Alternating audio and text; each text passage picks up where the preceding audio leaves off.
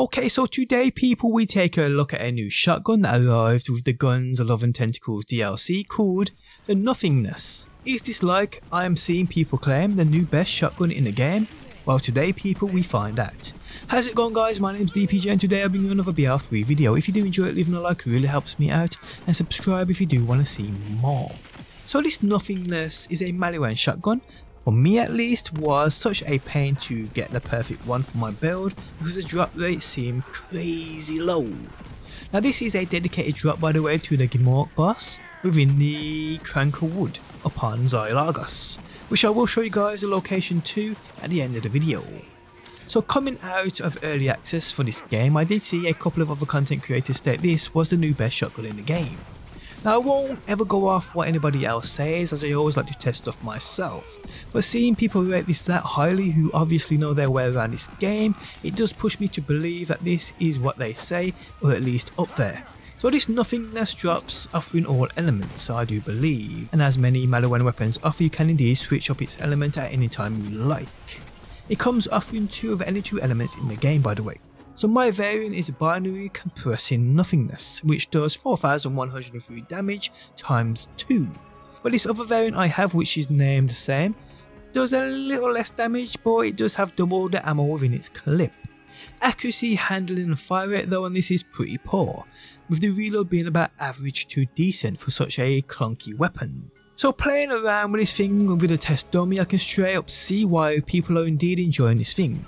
The way in which this acts upon firing it does remind me a little of the Flakker but with a much tighter spread and said secondary explosions as after you charge this weapon as like 99% of Maliwan weapons in this game you do have to charge it you release a laser beam which fires two lasers, which within themselves do great damage, but are followed up by many explosions, which also do decent damage too.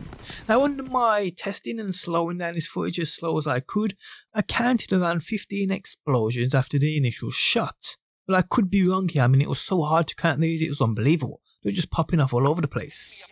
Now shooting at the test dummy from this angle as you can see, it seems as though those projectiles travel further than the target even if you direct impact that target you shoot at. So in many cases if you are too close to an enemy, you'll see these projectiles beyond the enemy. If you're at a certain range from the enemy, you'll probably see these projectiles explode prior to where that shot actually lands. So we have here a great AoE favoured weapon. This means the bigger the target you are firing at, the more likely it will receive the full impact of this weapon.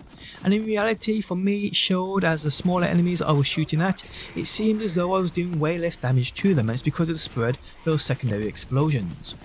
But if that target is of a decent size, like I said, you do indeed see this thing's presence.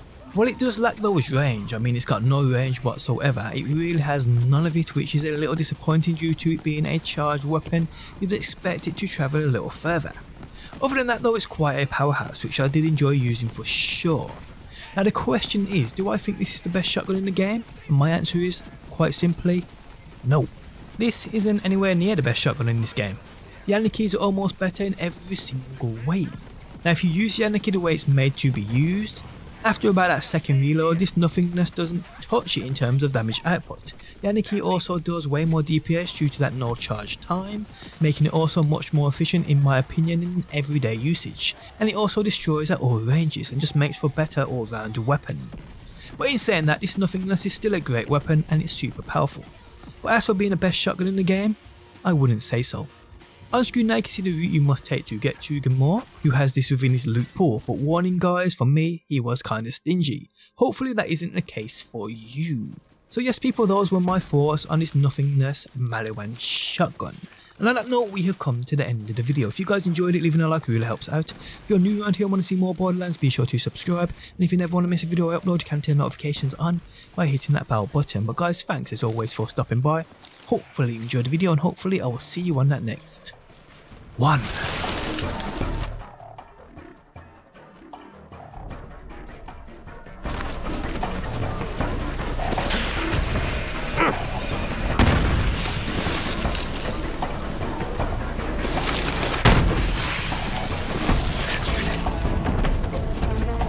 My never-ending quest to show Winnie why I absolutely adore hunting, we simply must hunt